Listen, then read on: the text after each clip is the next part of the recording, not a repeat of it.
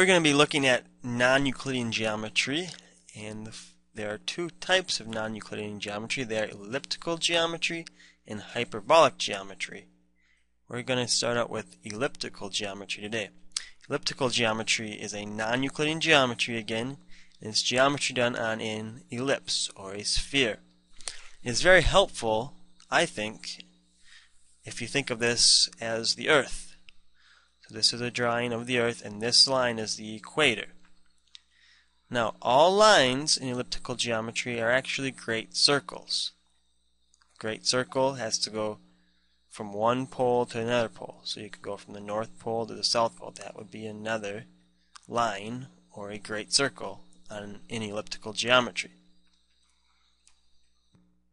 Let's start out by going through the set of postulates for elliptical geometry now these are similar to Euclid's five postulates for Euclidean geometry, except there's two differences.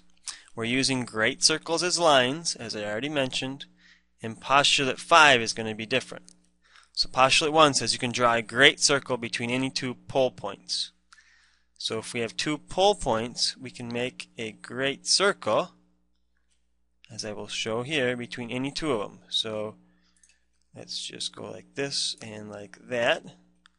And there is a great circle between these two pole points.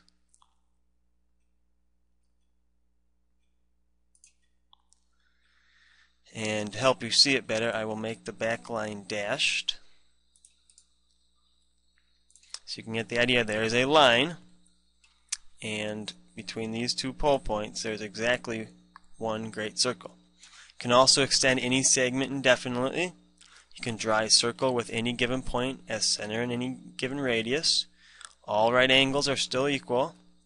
And postulate 5 is the other different one. Postulate 5 says through any given point, not on a great not on a given great circle, there pass no great circles parallel to the given great circle. So there are no parallel lines or parallel great circles in elliptical geometry because they will always intersect. In this case, they intersect right there in the back and right here in the front. In Euclidean geometry, there's a theorem that says that if two lines are perpendicular to the same line, then these lines must be parallel. And that's what Euclid's postulate 5 is. But that's not true in elliptical geometry. As you can see here, these two longitudinal lines, this one and this one, are both perpendicular to the equator, but they are not parallel because they cross at the north and south poles. Now these lines, or great circles, never end, but are finite in length.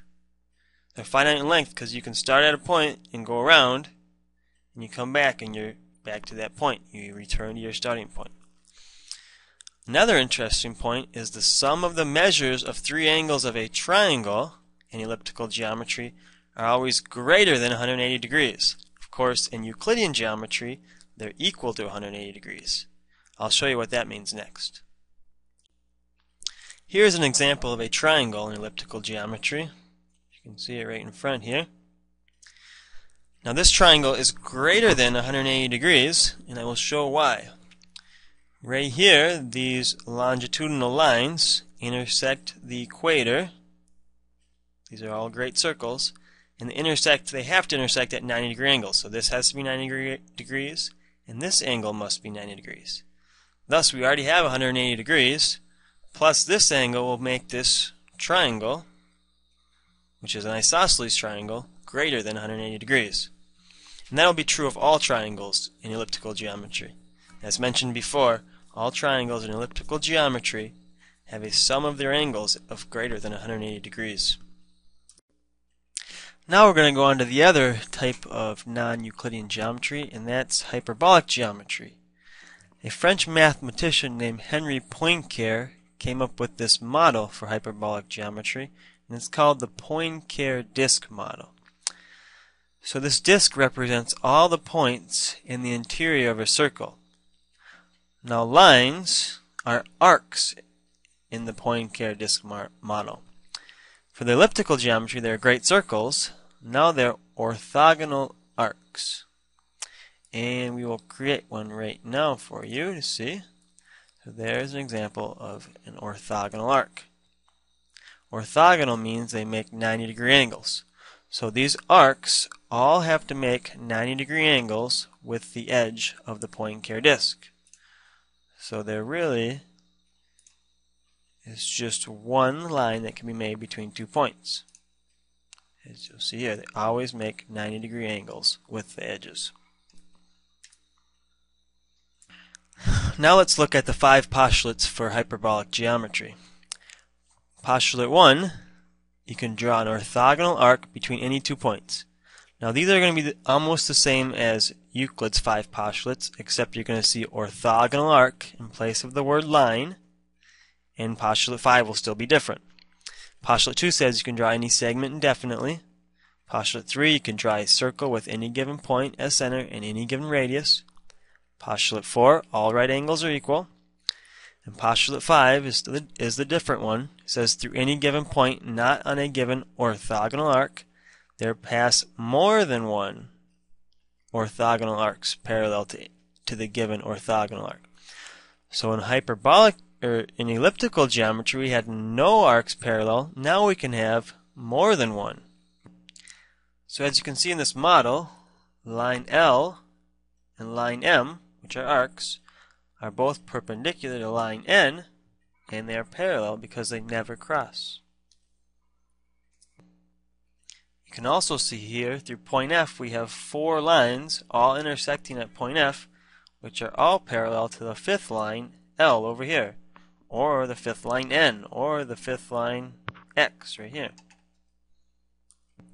Next let's look at triangles in hyperbolic geometry. You can see triangle HIJ here. If you remember in, in elliptical geometry, the sum of the angles were greater than 180 degrees. In hyperbolic geometry, they are the opposite. They are less than 180 degrees. And the reason for this is because um, the way they connect. They all connect in small angles because they must form 90 degrees on the 90 degree angles on the edges. All these angles on the inside are going to connect and be concave. So we'll, it will result in three small angles that will never sum to 180 degrees. Also in this Poincare disk model, uh, because we're looking at the interior of a circle, objects appear to get smaller the further they are from the center of the disk. So I found a little drawing on Wikipedia for the Poincare disk model. And here's a hyperbolic man that takes a walk. As you can see in the center he's really big, but as he goes closer and closer to the edge, he gets smaller. So the distance gets smaller the further you are away from the center. Okay, well that's it for elliptical and hyperbolic geometry. Hope you found this informative and interesting and uh, enjoyed these videos. Thank you.